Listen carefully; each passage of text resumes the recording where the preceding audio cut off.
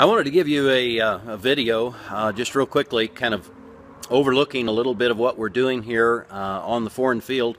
And this does not work on every field. For instance, in America, I don't think this would be near as effective. Not sure it'd be effective at all. I mean, might be worth a try.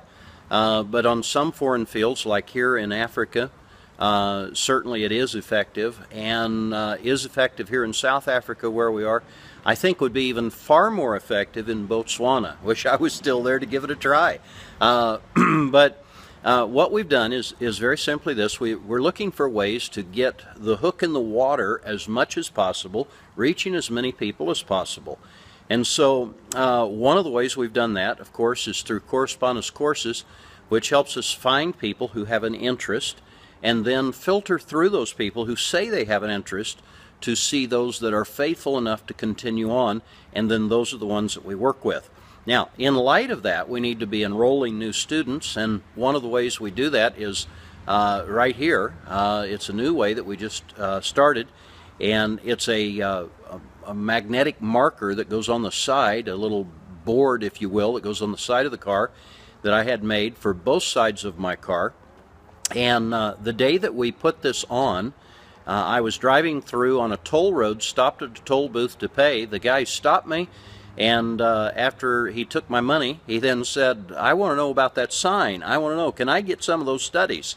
That was very encouraging. A couple days later, I was out uh, getting ready to do a, a, bike ride, and I was getting my bike off the back of my car, and uh, one of the workers there came running out and stopped me, a man, and uh, wanted to know if he could get one of those courses and what he needed to do to do it.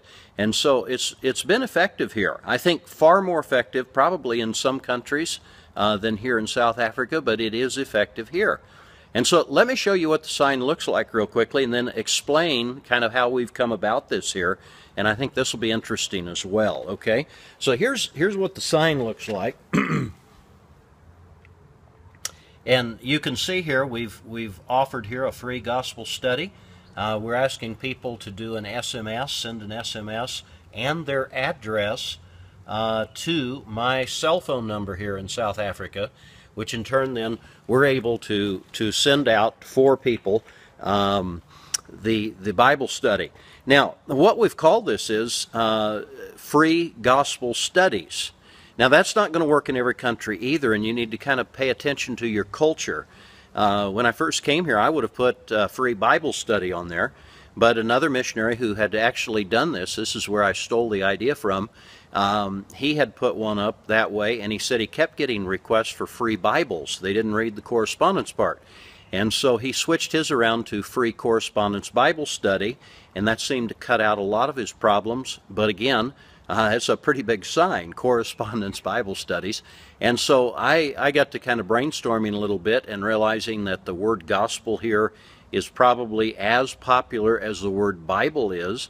Uh, decided to give that a try, and so far I'm very happy with the with the response rate here. So uh, you can learn from other missionaries. You can learn from uh, things that they've tried that haven't worked if you'll take the time to listen to them. And uh, you can also uh, go beyond them by listening to the nationals and trying to find out uh, what they know as well. And so, if we'll be learners in a culture, there's an awful lot that can be done. So, I'd encourage you to try out some different methods of reaching people. I hope this one's been uh, an encouragement to you and maybe be uh, able to spark some ideas for you in your respective ministries and different areas of labor. God bless you.